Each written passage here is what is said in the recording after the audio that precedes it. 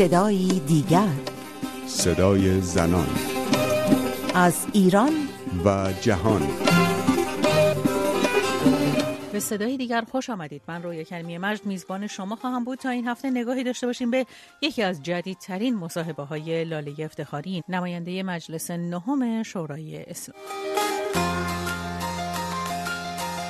در جدیدترین شماره ماهنامه زنان امروز چاپ شده در تهران شماره 16 مصاحبه منتشر شده با لاله افتخاری نماینده مجلس نهم. با این عنوان که در کشور ما تصاوی جنسیتی به ضرر زنان است.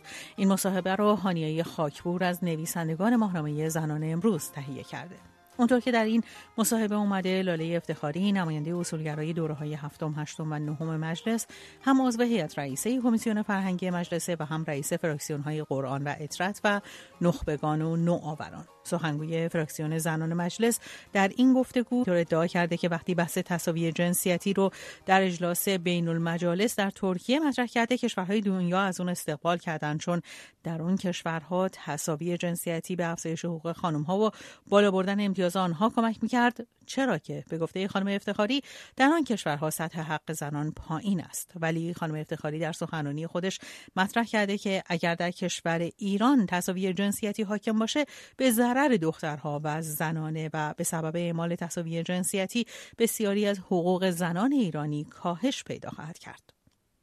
همراه هستیم با حسین قاضیان جامعه شناس ساکن آمریکا. آقای قاضیان چه نوع تفکری باعث میشه که فردی مثل لاله افتخاری نماینده مجلس به این باور برسه که قوانین اسلامی از قوانین برابری طلبانه برترن؟ من فکر کنم این ادعا صرف نظر از درستی یا نادرستیش مبتنی است بر درک نادرستی از قانون به معنی مدرن اون. چون قانون چیزی نیست که یه عده از یه جایی میارن برای یه عده دیگری. چیزی که همون عده‌ای که در اونجا زندگی می‌کنن خودشون میارن. بنابراین اینکه فکر کنیم یه قانونی یه جایی نوشته شده خیلی هم عالی و بعد میشه اونو به مردم گفت که این رو تبعیت کنید این قانون رو تشکیل نمیده. قانون چیزی که مردم خودشون تصمیم می‌گیرن برای اداره امور عمومی و مشترکشون به صورت جمعی. این چیزی که قانون رو ایجاد می‌کنه و این فرق داره با یه چیزی که بیرون از اراده و خواست مردم قرار اجرا بشه حتی اگر برابری طلبانه باشه یا حتی بهتر از برابری باشه اگر چیزی چنین چیزی داشته باشه. بنابراین اصلا این ادعا در واقع با نفی مفهوم مدرن قانون اساسا قابل ارزیابی میشه تا بعد بگیم که آیا این ادعا درسته یا نادرست اما آقای قاضیان ریشه این تفکر از کجا نشأت می‌گیره؟ تفکری که بخواد با صدای بلند اعلام بکنه که زنان ایرانی به قوانین اسلامی احترام بگذارید چون ما بیشتر داریم از شما حمایت می‌کنیم نسبت به قوانینی که هم در ایران صدا شنیده میشه و هم در بیشتر نقاط جهان و به نام قوانین برابری طلبانه مطرح شده.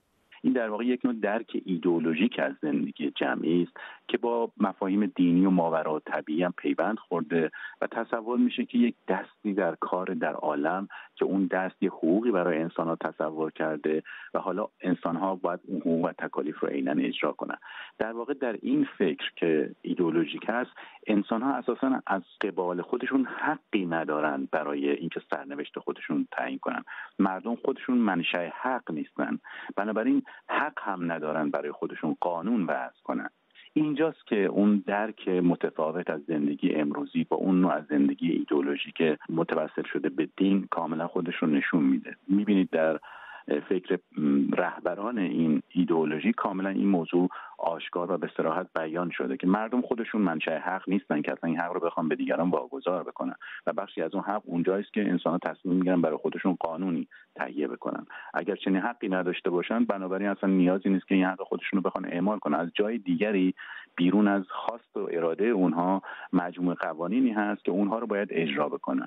و در این مورد دیگه حقی در واقع ندارن. این حق از جای دیگری میاد که منشأ هرچه باشه خود مردم نیستن. در تایید صحبت های شما آقای قاضیان خانم افتخاری در پاسخ به سوالی در مورد سن ازدواج دختر بچه ها و اینکه بیش از چهل هزار دختر زیر 15 سال سالانه ازدواجشون ثبت میشه پاسخ دادن که قانونگذار باید بر اساس شرع مقدس کار کنه زیرا شرع مقدس می‌داند نیاز یک دختر خانم و اولویت و رعایت حقوق او چطور می‌تواند صورت بگیرد. دقیقا این شرع مقدس فکر می‌کنم همون استنادی هستش که شما اشاره می‌کردید. اما آقای قاضیان به مصادیق این ماجرا برگردیم. به نظر شما از منظری که خانم افتخاری از اون دارن صحبت می‌کنن مثلا ما چطوری می‌تونیم بگیم که در مهریه حقوق زنان بهتر از حقوق زنانی که مهریه ندارند در نظر گرفته شده؟ در این مورد خاص یک موضوع مهمی که وجود داره این است که در اینجا مسئله تشکیل زندگی خانوادگی نیست. اگر کنه ماجرای نفقه و مهریه رو بسنجیم خواهیم دید که این در واقع یک نوع قرارداد معامله است. قرارداد خرید و فروش قرارداد داد و ستده. داد و ستد استفاده از بدن زن برای بهرهوری جنسی و تولید مثل در قبال رهن و اجاره. رهن در واقع همون مهری است و نفقه هم همون اجاره است. و بنابراین در این نوع از داد و ستد بدن زن با رهن و اجاره تملک حاصل میشه به صورت موقت یا دائم تا بشه ازش بهره وری کرد. به همین دلیل است که اگر کسی رهن رو پرداخت نکنه یا اجاره رو پرداخت نکنه حق بهره برداری از بدن زن رو نداره و به همین دلیل زن می‌تونه تمکین نکنه. در حالی که اگر در حالت عادی اگر رهن و اجاره رو گرفته باشه و تمکین نکنه اون متهم هست و محکوم. در حالی که برعکسش نیست. این دقیقا نشون میده که یک نوع قرارداد خرید و فروش سکس در مقابل مال نقدی یا غیر نقدی و بنابراین از شمول تشکیل یک زندگی مشترک به معنی خانواده خارج هست. اما آقای قاضیان این نوع نگاه به زن و بدن زن و قراردادی به نام ازدواج چه تأثیری می‌تونه بر شعن و شخصیت زنان ایرانی بگذاره؟ زنان ایرانی که حالا نه برای آغاز یک زندگی مشترک برابر بلکه به گفته شما برای آغاز یک معامله جسمی و جنسی وارد چنین معامله ای میشن. که اگر شما توجه بکنید که زنان از بعد طفولیت تا دوره رشد دائما بیاموزن که حقوقشون مساوی نیست با مردها مردها بر اونها برتری هایی دارن. این برتری ها نه تنها وجود داره بلکه این برتری ها از یک امر ماورایی میاد از خدا میاد از خداوند از گفته های پیامبر از یک متن مقدس. و اگر کسی باش مخالفت کنه به عقوبت و تنبیه اخروی هم مبتلا میشه. این ترس و بیم وجودی از مخالفت با چیزی که فرد رو آزار میده ولی در این حال مخالفت باهاش هم آزار دهنده است. تبدیل میشه به بخشی از اون شخصیت که یک شخصیت طبعی و دست دوم ایجاد می‌کنه. یعنی این تصور که خب اگر اینطوری هست و نمیشم چیزی در موردش گفت. پس باید تبعیتش کرد باید تمکین کرد و بهش تنز سپرد. حتما حکمتی هم درش هست. در این حالت شخصیت فردی که اینها رو میپذیره یک نوع شخصیت طبعی و پیرو خواهد بود و این شخصیت طبیعتا نمی‌تونه در مقام رهبری و در مقام مدیریت بر بیاد و همیشه باید تابع دیگری باشه که در اینجا مرد است. این ممکن بخشی از اون شخصیت سرکوب شده درونی تاریخی دوره به رشد و اجتماعی شدن زن رو تشکیل بده که ما خب ممکنه در شکل سنتی زندگی اجتماعی خودمون هم اون رو ببینیم. سپاسگزارم از حسین قاضیان جامعه شناس ساکن آمریکا. اما نسرین افزلی فعال مسائل زنان او هم ساکن آمریکا همراه ماست. خانم افزلی به نظر شما چرا خانم افتخاری چنین مسائلی رو مطرح کرده؟ این یک نوع اجبار هستش که در واقع از بعد از جمهوری اسلامی تمام مسئولان جمهوری اسلامی این رو داشتن اصلاح طلب و غیر اصلاح طلب و اصولگرا. علتش هم این بوده که توجیه دیگه ای نمی‌تونستن برای این بیارن. به هر حال ما الان می‌دونیم که گفتمان برابری جنسیتی حقوق بشر هم بر مبنای همونه و کنوانسیون رفع تبعیض علیه زنان هم باز بر اساس برابری جنسیتیه. بنابراین در همچین شرایطی که هر سال گزارش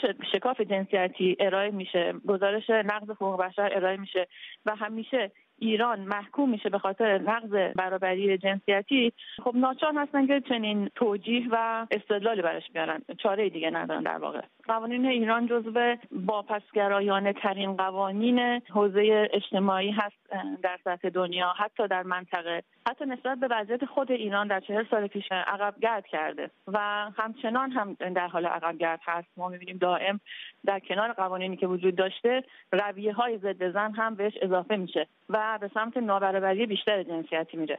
سپاسگزارم از نسرین افسلی به پایان برنامه این هفته صدای دیگر رسیدیم. از اینکه تا این لحظه در کنار ما بودید سپاسگزارم. می‌تونید نظرتون رو در مورد قوانین اسلامی و برابری حقوق زن و مرد با ما در میون بگذارید. 0042 02 21 12 21 12 می‌تونید به ما ایمیل هم بزنید. زن تا هفته دیگر و صدای دیگر پاینده باشید و شادم